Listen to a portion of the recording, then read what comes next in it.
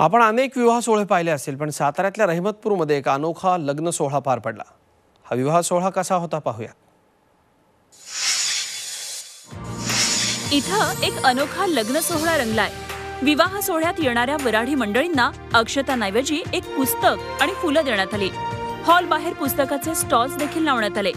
लग्नात नवरा नवरीच्या मागे उभे असलेल्या मामाच्या हातात एक मोठी पेन्सिल आणि वही आहे. इथं मंगलाष्टकाही म्हणण्यात आल्या. मात्र त्याही सत्यशोधक पद्धतीच्या. साताऱ्याच्या रहिमतपूरमधील अंधश्रद्धा निर्मूलन समितीचे शंकर चिकणे यांचा मुलगा किरण आणि अंकिताचा विवाह अशा अनोख्या पद्धतीनं पार पडला. यासाठी दोन्ही कुटुंबांना त्यांच्या नातेवाईकांची बरीच समजूत काढावी लागली.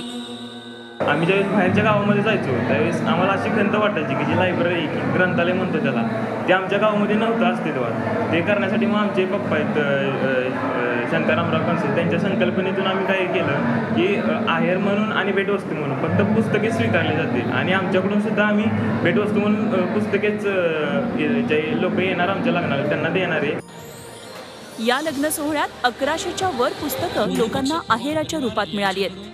या सगळ्या पुस्तकांचं पिंपरी या गावात एक छोटंसं ग्रंथालय उभारण्यात येणार आहे. लोकांचं आजच्या धावपळीच्या जीवनात पैसे कमवण्याकडे जास्त लक्ष असल्यामुळं पुस्तकाकडे कुणीही बघत नाही. पुस्तक खरेदी करण्याचं कोणाला ही राहिलेलं नाही आता. त्यामुळे त्यांनी पुस्तकं खरेदी करावी ती वाचावी ती यासाठी आम्ही ह्या संकल्प त्यांच्यापुढं मांडलेला आहे की लोकांनी पुस्तकाकडे विचार करून बघून शनी पुस्तकं वाचण्याची सवय लावून घ्यावी या विवाह सोहळ्याचं सर्वत्र कौतुक होतंय. तर मी खनसे आणि पवार कुटुंबियांचे सर्वप्रथम धन्यवाद मानतो. कारण की असा सोहळामध्ये सहभागी होण्यासाठी मला मिळालं हे माझं खरोखर भाग्य आहे. कारण की याच्या आधी फक्त महात्मा ज्योतिबा फुले यांना पुस्तकात वाचलं होतं. त्यांच्या विचारांचं आचरण आज प्रत्यक्षात होताना बघितलं हे सर्वात मोठं समाधान आहे. अंधश्रद्धा निर्मूलन समितीच्या डॉक्टर हमीद दाभोलकर यांनीही या सोहळ्याला उपस्थिती लावली. थाटामाटात संपन्न झालेल्या विवाह सोहळ्यात सगळ्यांनी धमालही केली.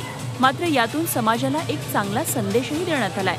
तुषार तपासेसह bureau report Zee media Satara.